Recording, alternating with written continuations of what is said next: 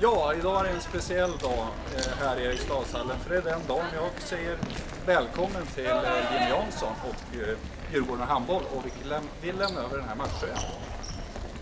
Välkommen Tack så mycket. Känns fantastiskt kul. Fint nummer naturligtvis också. 1891. Ska jag ta på den eller? tycker jag. Se om den passar.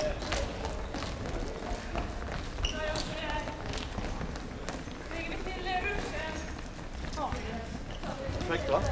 Perfekt. Ja. Härligt. Välkommen! Tack så mycket.